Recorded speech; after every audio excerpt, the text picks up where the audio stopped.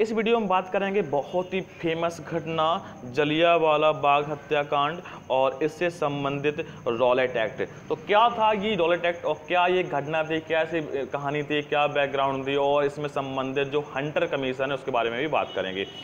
तो शुरू करते हैं, देखते हैं क्या है इसमें। तो रॉलेट एक्ट एक प्रकार से इंपीरियल लेजिस्लेटिव काउंसिल द्वारा पास एक एक्ट था, जो कि मार्च 1919 में पास किया गया था।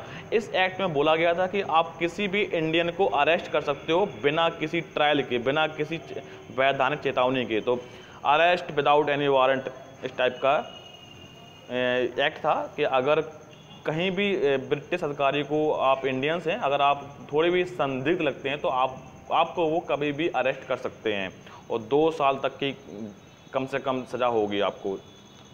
ठीक है तो देखते हैं कि जलिया वाला बाग जलिया वाला बाग में बैसाखी महोत्सव के समय पर प्रोटेस्ट कर रहे थे इस एक्ट के अगेंस्ट। ठीक है, धरना दे रहे थे, शांतिपूर्वक धरना था नॉन वायलेंट प्रोटेस्ट था।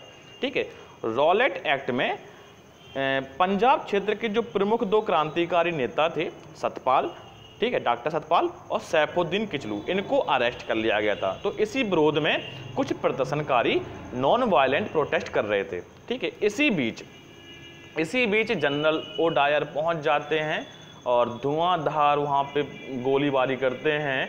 लगभग 10 मिनट तक जिसमें हज़ारों लोग मारे जाएँगे और कई हज़ारों लोग उसमें घायल होंगे। ठीक है, ये डेटा केवल उस समय दिया गया था, पर ऑफिशियल अगर ऑन द ग्राउंड देखा जाए तो बहुत वहाँ पे क्लैमिटी हुई थी, बहुत मतलब बहुत लोग मारे गए थे, ठीक है। आप देखते हैं कि दौलत एक्ट है क्या। तो एक प्रकार का ये एनार्कियल और रेवोल्यूशनरी क्राइम्स एक्ट है, ठीक है, जो कि 1919 में पास किया गया था। इंपीरियल लेजिस्लेटिव काउंसिल द्वारा मार्च 1919 में। बोला यह गया था कि ब्रिटिश ऑफिसर्स को अगर आपकी नज़र में कोई भी इंडियन सस्पेक्टेड लगे तो उसे टेररिस्ट घोषित कर दो और उसे अरेस्ट कर लो बिना किसी वारंट के। बहुत टफ रूल था और साथ ही साथ सर्च का परमिशन मिली थी इनको, बिना किसी वारंट के आप सर्च भी कर सकते हो और जो फ्रीडम ऑफ़ प्रेस थी, उस समय जो मतलब अखबार के माध्यम से लोग आपस में कम्युनिकेट कम्युनिकेट कर पा रहे थे, अपने विचार विमर्श शेयर कर पा शेयर कर पा रहे थे विचार वगैरह तो अब उस पर भी इन्होंने रेस्ट्रिक्शन लगा दिया था, प्रतिबंध लगा दिया था। तो ये जो रिकमेंडेशन थी, ये जो एक्ट था, अब किसके नाम से या किसने रिकमेंड किया था, ज़रा इस, ये इम्पोर्टेंट पॉइंट बन जाता है। तो सर सिडनी रॉलेट, ये उस समय जज थे, ठीक है? तो सर सिडनी रॉलेट ने इनकी कमेटी की रिकमेंडेशन पे ये एक्ट पास हुआ था। इसलिए कहलाया था रॉलेट एक्ट तो इनका पूरा नाम याद रखना, सर सिडनी रॉलेट अब इसके विरोध में 6 अप्रैल को पूरे देश स्तर पे हड़ताल होती है। और इस हड़ताल का आरंभ किया था महात्मा गांधी जी ने, भूख हड़ताल के तौर पे। ठीक है तो नेशन वाइड हड़ताल शुरू होती है रॉलेट सत्याग्रह के नाम से। ठीक है तो ये डेट इंपॉर्टेंट है 6 अप्रैल को।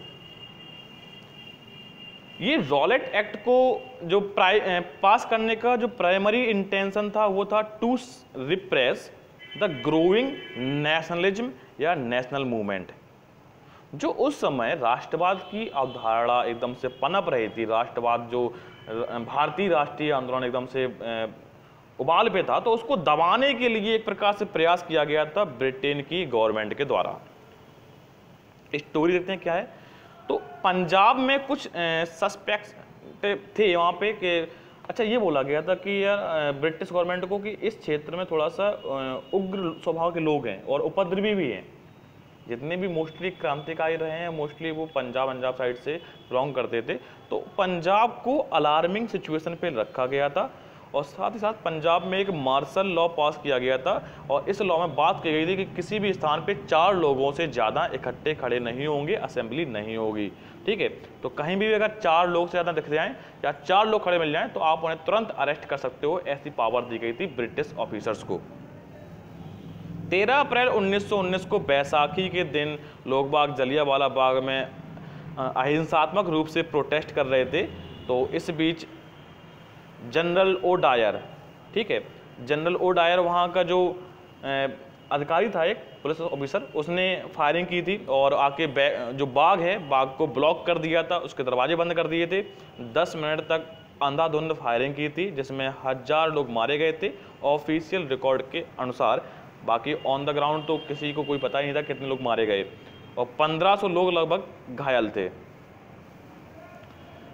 गवर्नमेंट ने इस घटना की इंक्वायरी के लिए एक कमीशन बनाया हंटर कमीशन तो यहाँ पे ध्यान देना कि हंटर कमीशन किससे संबंधित है? जलियावाला हत्याकांड से संबंधित, ठीक है? तो गवर्नमेंट ने, गवर्नमेंट कौन सी? ब्रिटिश गवर्नमेंट ने। तो ज़ाहिर सी बात है कि अपने जो कर्मचारी है, जनरल उडायर था, उसको तो बरी कर ही देंगे। तो एक एक दो साल के लिए शायद सस्पेंड किया था, उसके बाद 1920 में तो इसे दोबारा आर्मी में ले लिया गया था। और यहाँ पे ध्यान देना कि जनरल ओ डायर यहाँ पे पुलिस ऑफिसर है और Michael O'Dwyer lieutenant governor थे पंजाब के, ठीक है? जो को, जो कि आदेश देते हैं जनरल डायर को, ठीक है? तो माइकल ओ डायर को मार दिया जाता है ऊधम सिंह के द्वारा 1940 में। ऊधम सिंह कौन है? शायद ये उस समय विटनेस था जलिया वाला हत्याकांड का तो उसमें बच्चा होगा और ये 1919 से 1940 तक लगभग 21 साल के अंतराल के बाद माइकल ओडायर को इंग्लैंड में शॉट, शूट कर देता है शॉटर कर देता है। तो ये ऊधम सिंह यहाँ पे उन्नीस चालीस में बदला लेते हैं। अब इस बीच हुआ क्या था कि कुछ जो भारतीय नेता थे, ठीक है, उन्होंने अपनी उपाधियाँ यहाँ पे छोड़ी जो अंग्रेज़ों ने उनको दी थी। जैसे टैगोर ने नाइटहुड की उपाधि छोड़ी और गांधी ने कैसा रे हिंद। यहाँ पे इंपॉर्टेंट है कि जलियावाला हत्याकांड के समय गांधी ने कौन सी उपाधि छोड़ी थी, त्यागी थी तो वो कौन है? कैसर हिंद। अब ये कैसर हिंद इन्हें किसने दी थी? तो ब्रिटिश ने दी थी। जब ये अफ्रीका में थे, अफ्रीका में बोयर वार में इनका कुछ रोल रहा है, उसमें इनको ये कैसर हिंद की उपाधि दी गई थी और ये, इन दो लोगों ने अपनी उपाधि यहाँ पे त्याग दी थी। ठीक है, इसके बाद बात करेंगे नॉन कॉपरेशन मूवमेंट के बारे में।